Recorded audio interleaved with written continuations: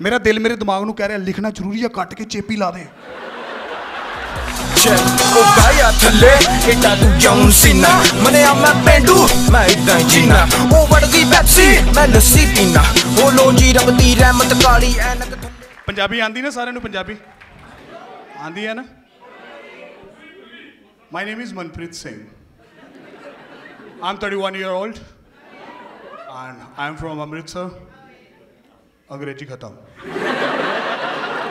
Problem ਇਹ ਨਹੀਂ ਹੈ ਕਿ ਮੈਨੂੰ ਇੰਗਲਿਸ਼ ਆਉਂਦੀ ਨਹੀਂ ਹੈ। ਪ੍ਰੋਬਲਮ ਇਹ ਹੈ ਜਿਹੜੀ ਮੈਨੂੰ ਆਉਂਦੀ ਹੈ ਨਾ, ਤੁਹਾਡੇ ਉੱਤੋਂ ਲੰਘ ਜਾਣੀ ਹੈ। ਕਿਉਂਕਿ ਮੈਂ ਆਇਲਸ ਕੀਤੀ ਹੈ ਬੁਰਜ ਖਲੀਫਾ ਇੰਸਟੀਚਿਊਟ ਤੇ ਮਾਸਟਰ ਹੀ ਮੇਰਾ ਸਿੱਧੂ ਮੂਸੇਵਾਲਾ। ਦੋਵਾਂ ਦੀਆਂ ਗੱਲਾਂ ਉੱਪਰੋਂ ਲੰਘ ਜਾਂਦੀਆਂ ਮੈਂ ਕੋਈ ਵੀ ਸ਼ੋਅ ਸ਼ੁਰੂ ਕਰਾਂ ਨਾ, ਮੈਂ ਪਰਮਾਤਮਾ ਦੇ ਨਾਮ ਤੋਂ ਕਰਦਾ। ਕਿਹਨੂੰ ਕਿਹਨੂੰ ਲੱਗਦਾ ਬੱਚੇ ਰੱਬ ਦਾ ਰੂਪ ਹੁੰਦੇ ਨੇ। ਕਿਉਂ ਹਾਂਜੀ ਕਿੱਦਾਂ ਦੀਆਂ ਬੜੇ ਕਿਊਟ ਸੇ ਨਾਈਸ ਜਿੱਦਾਂ ਆਈਕਲ ਮਿਲਦੀਆਂ ਨੇ ਅੱਜ ਕੱਲ ਨਹੀਂ ਮਿਲਦੇ ਪਹਿਲੇ ਮਿਲਦੇ ਜਦੋਂ ਜੀਓ ਆਇਆ ਉਦੋਂ ਤੇ ਬੰਦ ਹੋ ਗਏ ਆ ਉਹਨੇ 1.5 ਲੱਖ ਬੰਦੇ ਨੇ ਹੱਥ ਖੜਾ ਕੀਤਾ ਸੀ ਸੱਚਾਈ ਹੈ ਬੱਚੇ ਰੱਬ ਦਾ ਰੂਪ ਹੁੰਦੇ ਨੇ ਕਿਉਂਕਿ ਇਹ ਕਦੀ ਵੀ ਕਿਤੇ ਵੀ ਪ੍ਰਗਟ ਹੋ ਸਕਦੇ ਆ ਮੈਂ ਇੱਕ ਵਾਰੀ ਸ਼ੋਅ ਕਰ ਰਿਹਾ ਸੀ ਸ਼ੋਅ ਸ਼ੁਰੂ ਕੀਤਾ ਇੱਕ ਬੱਚਾ ਸਟੇਜ ਤੇ ਆ ਗਿਆ ਆ ਸਕਦਾ ਰੱਬ ਦਾ ਰੂਪ ਹੈ। 2 ਮਿੰਟ ਬਾਅਦ ਉਹ ਮੇਰੇ ਮਾਈਕ ਦੀ ਤਾਰ ਖਿੱਚ ਰਿਹਾ। ਖਿੱਚ ਸਕਦਾ ਰੱਬ ਦਾ ਰੂਪ ਹੈ। ਅਗਲੇ 5 ਮਿੰਟ ਬਾਅਦ ਉਹ ਮੈਨੂੰ ਪਾਪਾ ਪਾਪਾ ਕਹਿਣ ਲੱਗ ਪਿਆ।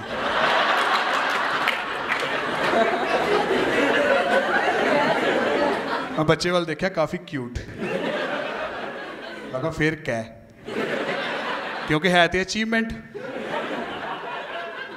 मैं तुम इतने सोने हो तुम्हारी मम्मी कितनी सोनी होएगी ਇਹ ਮੈਂ ਮਨ ਚ ਕਹਿ ਰਿਹਾ ਹੁਣ ਪ੍ਰੋਬਲਮ ਇਹ ਨਹੀਂ ਹੈ ਬੱਚਾ ਸਟੇਜ ਤੇ ਆਇਆ ਮਾਈਕ ਦੀ ਤਾਰ ਖਿੱਚ ਰਿਹਾ ਮੈਨੂੰ ਪਾਪਾ ਪਾਪਾ ਕਹਿ ਰਿਹਾ ਪ੍ਰੋਬਲਮ ਇਹ ਹੈ ਉਸ ਦਿਨ ਮੈਂ ਆਪਣੀ ਵਾਈਫ ਨੂੰ ਪਹਿਲੀ ਵਾਰੀ ਸ਼ੋਅ ਵਿਖਾਣ ਲੈ ਕੇ ਆਇਆ ਸੀ ਫਿਰ ਮੈਨੂੰ ਬੁਲਾਇਆ ਮੈਂ ਕਿਹਾ ਨੂੰ ਲੈ ਕੇ ਜਾ ਉਹ ਮੇਰਾ ਹੀ ਬੱਚਾ ਸੀ okay Punjabi in the house give me yes Punjabis ਸਾਰੀ ਦੁਨੀਆ ਨੂੰ ਪਤਾ ਨਹੀਂ ਕਿਉਂ ਲੱਗਦਾ ਪੰਜਾਬੀਆਂ ਦੇ ਘਰਾਂ 'ਚ ਤਿੰਨ ਤਰ੍ਹਾਂ ਦੀਆਂ ਗੱਲਾਂ ਹੋ ਰਹੀਆਂ। ਪਹਿਲਾ ਖਾਣ ਦੀਆਂ, ਦੂਜਾ ਪੀਣ ਦੀਆਂ, ਤੀਜਾ ਖਾਣ ਪੀਣ ਦੀਆਂ। ਨਹੀਂ ਨਹੀਂ, ਪਹਿਲਾ ਖਾਣ ਦੀਆਂ, ਦੂਜਾ ਪੀਣ ਦੀਆਂ, ਤੀਜਾ ਕੈਨੇਡਾ ਕਿੱਦਾਂ ਜਾਣਾ ਇਹ ਸੱਚਾਈ ਹੈ। ਮੰਮੀ ਕੀ ਕਹਿ ਕੇ ਠਾਂਦੇ ਆ? ਉੱਠ, ਰੋਟੀ ਖਾ ਲਾ।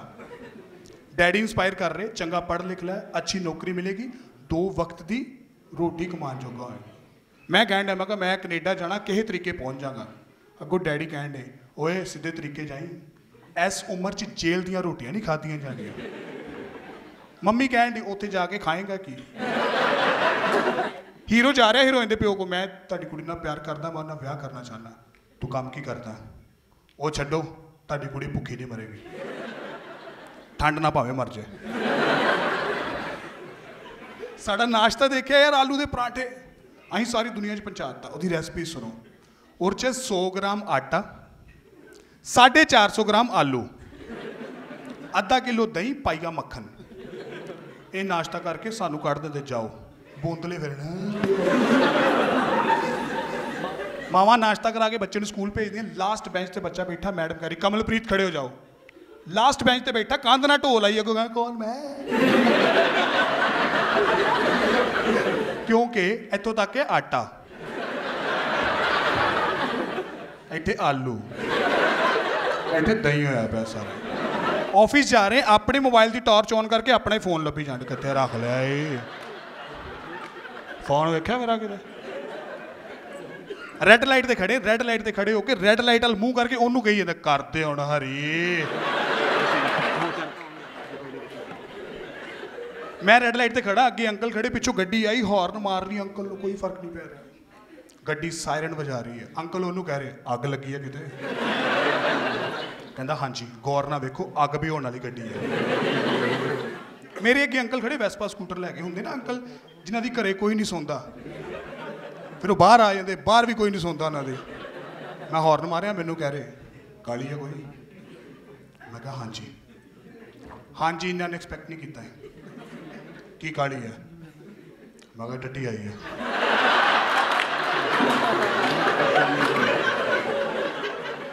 ਇਹ ਤੇ ਬਿਲਕੁਲ ਐਕਸਪੈਕਟ ਨਹੀਂ ਕੀਤਾ ਸੀ ਇਹਨਾਂ ਨੇ। ਕਰੋ ਕਰਕੇ ਆਇਆ ਕਰੋ। ਮੈਂ ਕਿਹਾ ਕਰਕੇ ਆਇਆ, ਫਿਰ ਆਈ ਹੈ। ਫਿਰ ਘੱਟ ਖਾ ਲਿਆ ਕਰੋ। ਮੈਂ ਸੇਮ ਟੂ ਯੂ ਬਾਹੂਬਲੀ ਕਿਹਨੇ ਕਿਹਨੇ ਦੇਖੀ? ਬਾਹੂਬਲੀ? ਮੈਂ ਲਾਈਵ ਬਾਹੂਬਲੀ, ਪੰਜਾਬ 'ਚ ਲਾਈਵ ਬਾਹੂਬਲੀ। ਬਾਹੂਬਲੀ 'ਚ ਇੱਕ ਸੀਨ ਹੈ। ਹੀਰੋ ਆਂਦਾ ਹੈ ਐਦਾਂ ਕਰਕੇ ਇਸ ਤਰ੍ਹਾਂ ਕਰਦਾ ਉਧਰੋਂ 1.5 2 ਲੱਖ ਬੰਦਾ ਆ ਜਾਂਦਾ ਤੁਸੀਂ ਪੰਜਾਬ 'ਚ ਲਾਈਵ ਬਾਹੂਬਲੀ ਦੇਖਣੀ ਨਾ, ਕਿਸੇ ਵੀ ਰੇਲਵੇ ਸਟੇਸ਼ਨ ਤੇ ਚੱਲ ਜਾਓ। ਤੁਸੀਂ ਰੇਲਵੇ ਸਟੇਸ਼ਨ ਤੋਂ ਬਾਹਰ ਜਾਣਾ ਹੈ, ਪਤਾ ਨਹੀਂ ਕਿਹੜੇ ਕੁੱਤੇ ਦੇ ਪੁੱਤ ਨੇ ਐ ਕਰਨਾ ਹੈ 2 ਹਜ਼ਾਰ ਆਟੋ ਆਏ ਨਾ ਸਾਰੇ ਐਕਸ ਕਬੱਡੀ ਦੇ ਪਲੇਅਰ ਭਾਈ bus stand bus stand bus stand ਤੋਣੋ ਫਟਫਟ ਭਾਈ ਬੱਸ ਸਟੈਂਡ ਬੱਸ ਸਟੈਂਡ ਅਜੀਬ ਹੀ ਯਾਰ, ਚੰਗਾ ਭਲਾ ਬੰਦਾ ਕਾਲਾ ਕੋਟ ਪੈਂਟ ਪਾਇਆ, ਹੱਥ 'ਚ ਬੈਗ ਫੜਿਆ, ਉਹਨੂੰ ਕਹੀ ਆਜੋ ਭਾਈ ਸਬਜ਼ੀ ਮੰਡੀ। ਪਿਓ ਤੇਰਾ ਵਕੀਲ ਆ। ਐਤਵਾਰ ਕਹੀ ਪਾਸਪੋਰਟ ਆਫਿਸ ਤੇਰੀ ਭੂਆ ਖੋਲ ਕੇ ਬੈਠੀ ਐਤਵਾਰ। ਐਵੇਂ ਅਜੀਬ ਹੀ। ਮੇਰਾ ਸ਼ਹਿਰ ਅੰਮ੍ਰਿਤਸਰ ਹਨਾ? ਮੈਂ ਦਿੱਲੀੋਂ ਆਇਆ, ਮੈਂ ਸਟੇਸ਼ਨ ਤੋਂ ਬਾਹਰ ਨਿਕਲਿਆ, ਇੱਕ ਆਟੋ ਵਾਲੇ ਨੇ ਮੇਰੇ ਪਿਸਤੌਲ ਲਾਤੀ ਕਹਿੰਦਾ, ਆਓ ਭਾਈ, ਦਰਬਾਰ ਸਾਹਿਬ ਮੱਥਾ ਟਿਕਾ ਲਿਆ ਪਹਿਲੇ ਦਰਬਾਰ ਸਾਹਿਬ ਮੱਥਾ ਟੇਕਿਆ। ਫਿਰ ਦੁਰਗਿਆਨਾ ਮੰਦਿਰ ਸ਼ਾਮੀ ਪਰੇਡ ਵੇਖ ਕੇ ਵਾਪਸ ਆਇਆ ਮੈਂ। ਮੈਂ ਆਪਣੀ ਕਾਰ ਤੇ ਜਾ ਰਿਹਾ, ਕਾਰ ਤੇ। ਨਾਲ ਆਟੋ ਵਾਲਾ ਜਾ ਰਿਹਾ। ਮੇਰੀਆਂ ਅੱਖਾਂ ਚੱਖਾਂ ਪਾ ਕੇ ਕਹੀ ਜਾਂਦਾ, ਆਜੋ ਭਾਜੀ ਫਸਟ ਟਾਈਮ ਮੈਂ ਕਿਹਾ, ਮਾਂ, ਆਪਣੀ ਨੂੰ ਟੋਚਨ ਪਾਲਾ। ਅੱਛਾ, ਤੁਹਾਡੇ ਚੋਂ ਮਿਡਲ ਕਲਾਸ ਹੈ ਕੋਈ? ਮਿਡਲ ਕਲਾਸ ਗਿਵ ਮੀ ਐਸ ਏਐਸ ਕੈਮ ਮਿਡਲ ਕਲਾਸ ਬੰਦ ਹੈ। ਹੁਣ ਨਹੀਂ ਆਉਂਦੇ। ਮੈਂ ਬਹੁਤ ਮਿਡਲ ਕਲਾਸ ਮੈਂ ਇੰਨਾ ਮਿਡਲ ਕਲਾਸ ਸਕੂਲ 'ਚ ਦੋ ਤਰ੍ਹਾਂ ਦੇ ਬੱਚੇ ਹੁੰਦੇ ਸੀ। ਫਰੰਟ ਡੈਸਕ ਲਾਸਟ ਮੈਂ ਮਿਡਲ ਵਾਲਾ। ਮੈਂ ਨਾ ਮਿਡਲ ਕਲਾਸ ਮੈਂ ਟ੍ਰੇਨ ਦੀ ਟਿਕਟ ਬੁੱਕ ਕਰਾਂ ਵਿੰਡੋ ਸੀਟ ਸਿਲੈਕਟ ਕਰਾਂ, ਮੈਨੂੰ ਮਿਡਲ ਹੀ ਮਿਲਣੀ ਹੈ। ਮੈਂ ਇੱਕ ਵਾਰੀ ਸਟੇਸ਼ਨ ਮਾਸਟਰ ਨੂੰ ਲੈਟਰ ਲਿਖੀ, ਮੈਂ ਕਿਹਾ ਮੈਨੂੰ 23 ਨੰਬਰ ਸੀਟ ਹੀ ਚਾਹੀਦੀ ਹੈ। ਉਹਨੇ ਮੈਨੂੰ 23 ਨੰਬਰ ਸੀਟ ਹੀ ਅਲਾਟ ਕੀਤੀ। ਜਦੋਂ ਮੈਂ ਟ੍ਰੇਨ ਦੇ ਅੰਦਰ ਵੜਿਆ, ਸਾਲਿਆਂ ਨੇ 23 ਪੁੱਟ ਕੇ ਮਿਡਲ ਚਲਾਈ ਹੋਈ ਪੰਜੀ 23 24 ਅਸਲੀ ਮਿਡਲ ਕਲਾਸ ਪਤਾ ਕੌਣ ਹੁੰਦਾ? ਜਿਹਦੇ ਘਰ ਮਟਰ ਪਨੀਰ ਦੀ ਸਬਜ਼ੀ ਬਣੇ। ਸਾਰੀ ਰੋਟੀ ਉਹ ਮਟਰ ਤੇ ਤਰੀ ਨਾ ਖਾਵੇ। ਐਂਡ ਤੇ ਇੱਕ ਪਨੀਰ ਦਾ ਟੁਕੜਾ ਬਚਾ ਕੇ ਰੱਖੇ ਸੁੱਕਾ ਖਾਣ ਲਈ। ਮੈਂ ਆਪਣੇ ਆਪ ਨੂੰ ਚੋੜਾ ਕੇ ਕਹਿੰਦਾ, ਮੈਂ ਮਿਡਲ ਕਲਾਸ ਫਿਰ ਮੈਂ ਸੁਣੀ ਸਚਿਨ ਤੰਦੂਲਕਰ ਦੀ ਇੰਟਰਵਿਊ ਸਚਿਨ ਤੰਦੂਲਕਰ ਜੀ ਕਹਿ ਰਹੇ ਨੇ, ਮੈਂ ਮਿਡਲ ਕਲਾਸ ਹਾਂ। ਮੈਂ ਕਿਹਾ ਸਰ ਜੇ ਤੁਸੀਂ ਮਿਡਲ ਕਲਾਸ ਹੋ, ਸਾਡੀ ਤੇ ਕਲਾਸ ਹੀ ਨਹੀਂ ਹੈ ਫਿਰ ਹੁਣ ਦੇਖੋ, ਮੇਰੇ ਚਿਹਰੇ ਤੇ ਤੁਹਾਨੂੰ ਕੌਨਫੀਡੈਂਸ ਨਹੀਂ ਦਿਖ ਰਿਹਾ। ਕਿਉਂਕਿ ਮੇਰੇ ਕੋਲ ਹੈਗਾ ਨਹੀਂ। ਕਿਉਂਕਿ ਮੈਨੂੰ ਕਿਸੇ ਨੇ ਦਿੱਤਾ ਹੀ ਨਹੀਂ। ਹੁਣ ਕਨਵੈਂਟ ਸਕੂਲ ਹੁੰਦੇ ਨੇ ਜਿਹੜੇ ਮਤਲਬ ਵਧੀਆ ਬੱਚੇ, ਉਹਨਾਂ ਦੇ ਪੇਰੈਂਟਸ ਉਹਨਾਂ ਨੂੰ ਕੌਨਫੀਡੈਂਸ ਦਿੰਦੇ ਆ। ਦੇਖ, ਦੋ ਭੈਣਾਂ ਤੋਂ ਬਾਅਦ 'ਚ ਤੂੰ ਕੱਲਾ ਭਰਾ ਆਇਆ, ਤੂੰ ਸਾਡੀ ਗਰੀਬੀ ਦੂਰ ਕਰੇਗਾ। ਇਹ ਗੱਲ ਉਹਨੂੰ ਮਰਸਡੀ 'ਚ ਬਹਿ ਕੇ ਸਮਝਾ ਰਹੇ ਆ। ਮੈਂ ਆਪਣੇ ਘਰ ਰੋਟੀ ਖਾ ਰਿਹਾ ਹਾਂ ਮੰਮੀ ਪਾਪਾ ਲੜਦੇ ਲੜਦੇ ਮੇਰੇ ਵੱਲ ਆਏ ਤੇ ਇੱਕ ਆਹ ਕੰਜਰ ਜੰਮਿਆ ਏ ਤੂੰ। ਮੈਂ ਕਿਹਾ ਮੈਂ ਤਾਂ ਖੇਡਦਾ ਵੀ ਨਹੀਂ ਪਿਆ। ਅੱਗੋਂ ਮੰਮੀ ਕਹਿੰਦੇ ਮੈਂ ਇਕੱਲੀ ਨੇ ਜੰਮਿਆ ਵਾਂ ਕਿੱਥੋਂ ਆਏਗਾ ਕੌਨਫੀਡੈਂਸ ਯਾਰ ਫਿਰ ਤੁਹਾਨੂੰ ਸਕੂਲਾਂ 'ਚ ਭੇਜਤਾ ਤੁਹਾਡੇ ਟੀਚਰ ਕੌਨਫੀਡੈਂਸ ਦੇ ਗਏ ਹਨਾ ਪੇਰੈਂਟਸ ਟੀਚਰ ਮੀਟਿੰਗ ਤੇ ਬੁਲਾਇਆ ਜਾਂਦਾ ਆਹ ਦੇਖੋ ਜੀ ਬਹੁਤ ਵਧੀਆ ਚੱਲ ਰਿਹਾ ਬੱਚਾ ਇਹ ਸੀਏ ਬਣੇਗਾ ਤਿਆਰੀ ਕਰਾਓ ਸਾਲੇ ਐਲਕੇਜੀ ਜਾ ਜਿਓ ਸਾਡੀਆਂ ਨਹੀਂ ਹੁੰਦੀਆਂ ਮੀਟਿੰਗਾਂ ਸਰਕਾਰੀ ਸਕੂਲ ਵਾਲੇ ਹੁੰਦੇ ਸਿਆਪੇ ਜਾਂ ਮੇਰਾ ਕਿਸੇ ਨੇ ਸਿਰ ਪਾੜਿਆ ਜਾਂ ਮੈਂ ਕਿਸੇ ਦਾ ਸਿਰ ਪਾੜਿਆ ਜਾਂ ਆਪਾਂ ਦੋਵਾਂ ਨੇ ਰਲ ਕੇ ਮਾਸਟਰ ਦਾ ਪਾੜਿਆ ਇੱਥੇ ਪੱਟੀ ਬੰਨ ਕੇ ਮਾਸਟਰ ਕਹੇ ਆ ਵੇਖ ਲਓ ਆਪਣੇ ਨਿਆਣਿਆਂ ਦੀਆਂ ਕਰਤੂਤਾਂ ਨੇ। ਅੱਗੋਂ ਸਾਡੇ ਘਰ ਦੇ ਕਹਿੰਦੇ, ਇਹਨੂੰ ਜਿਸ ਤਰ੍ਹਾਂ ਚਲਾਣਾ ਚਲਾਓ। ਖਿੱਚ ਕੇ ਰੱਖੋ। ਆ ਲਓ ਰਿਵਾਲਵਰ ਦੂਸਰੀ ਸਭ ਤੋਂ ਵੱਡੀ ਪ੍ਰੋਬਲਮ ਸਾਨੂੰ ਪਤਾ ਹੀ ਨਹੀਂ ਸਿੱਖਣਾ ਕਿੱਥੋਂ ਆ। ਘਰੇ ਕੋ ਗਲਤੀ ਕਰੀਏ, ਘਰ ਦੇ ਕਰੇ ਤੇਰੇ ਸਕੂਲ ਵਾਲੇ ਤੈਨੂੰ ਅਕਲ ਨਹੀਂ ਸਿਖਾਉਂਦੇ। ਸਕੂਲ 'ਚ ਕੋਈ ਗਲਤੀ ਕਰੀਏ, ਸਕੂਲ ਵਾਲੇ ਕਰੇ ਤੇਰੇ ਘਰ ਦੇ ਤੈਨੂੰ ਅਕਲ ਨਹੀਂ ਸਿਖਾਉਂਦੇ। ਮੈਨੂੰ ਦੱਸੋ ਸਿੱਖਣਾ ਕਿੱਥੋਂ ਆ? ਇਹ ਪ੍ਰੋਬਲਮ ਉਦੋਂ ਆਈ ਜਦੋਂ ਮੈਂ ਪਹਿਲੀ ਵਾਰੀ ਨਕਲ ਮਾਰੀ। ਨਕਲ ਮਾਰੀ ਤੁਹਾਡੇ ਜੋ ਕਿਸੇ ਨੇ? ਗਿਮੀ ਯੈਸ ਕੋਈ ਐਸੀ ਕੁੜੀ ਜਿਹਨੇ ਨਕਲ ਮਾਰੀ, ਕਦੀ ਨਾ ਨਕਲ ਮਾਰੀ ਹੋਵੇ। ਕੋਈ ਹੈ? ਤੁਸੀਂ ਕਦੀ ਨਕਲ ਨਹੀਂ ਮਾਰੀ? ਤੁਹਾਡੇ ਚੱਕਰ 'ਚ ਸਾਰੀ ਕਲਾਸ ਫੇਲ ਹੋਈ ਹੈ।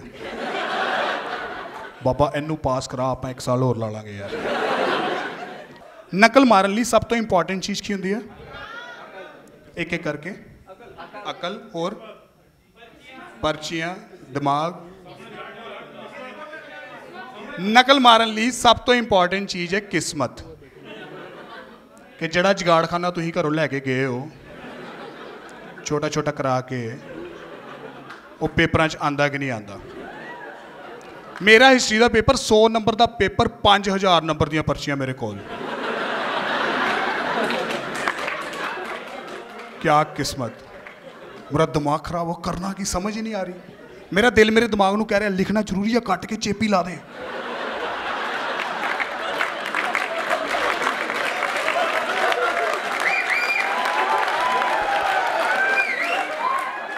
ਉਸੇ ਟਾਈਮ ਦਿਮਾਗ ਨੇ ਵਾਪਸ ਕਿਹਾ, ਇਹ ਝੁੱਡੂ ਵਾਲੀਆਂ ਗੱਲਾਂ ਨਹੀਂ ਕਰਨੀਆਂ, ਲਿਖਣਾ ਪੈਣਾ ਹੈ। ਹੁਣ ਮੈਨੂੰ ਸਮਝ ਨਹੀਂ ਆ ਰਹੀ ਕਰਨਾ ਕੀ ਹੈ। ਮੈਂ ਬਣਾਈ ਮਾਸਟਰ ਪਰਚੀ, ਇੰਡੈਕਸ, ਸਾਰੀਆਂ ਪਰਚੀਆਂ ਆਪਣੀ ਬਾਡੀ 'ਚ ਫਿੱਟ ਕਰ ਲਈਆਂ। 10 ਨੰਬਰ ਵਾਲੇ ਕਿੱਥੇ 20 ਵਾਲੇ ਕਿੱਥੇ, ਸਾਰਾ ਇੱਕ ਨਾ ਇੰਡੈਕਸ ਤੇ ਲਿਖ ਲਿਆ। 5 ਮਿੰਟ ਬਾਅਦ ਕਿਸਮਤ ਬਦਲ ਗਈ। ਫਲਾਈਂਗ ਆ ਗਈ। ਮੇਰੀ ਤਲਾਸ਼ੀ ਲਈ ਮੇਰੀ ਮਾਸਟਰ ਪਰਚੀ ਫੜੀ ਗਈ। ਮੈਨੂੰ ਡੈਸਕ ਤੇ ਖੜਾ ਕੀਤਾ। ਕਹਿੰਦੇ, ਹਿਮਾਯੂ ਦਾ ਮਕਬਰਾ ਕੱਢ ਦੇ ਖੱਬੀ ਜਰਾਬ ਚੋਂ ਬਾਹਰ।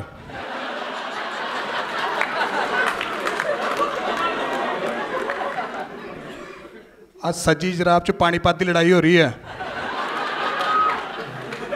ਓਏ ਹੋਏ ਹੋਏ, ਇਹ ਕੱਚੇ ਚੂਈ ਸਿੰਡੀਆ ਕੰਪਨੀ ਬਾਹਰ ਕੱਢ ਦੇ। ਮਾਰਨੰਗ ਬੇਟੇ, ਜੇ ਕਾਮਯਾਬ ਹੋਣਾ ਮੇਰੀ ਗੱਲ ਯਾਦ ਰੱਖੀ। ਸਹਰਾਬ ਤੇ ਬਿਜਲੀ ਚੁੱਕਣੇ ਸੇ ਸਾਈਕਲ ਦਾ ਚੱਕਾ ਪਿੰਗਾ ਹੋ ਜਾਂਦਾ ਹੈ। ਬੇਟੇ ਵੀਆਂ ਦੀ ਕੁਲਵੀਰ ਸਾਂਝੀ ਚਾ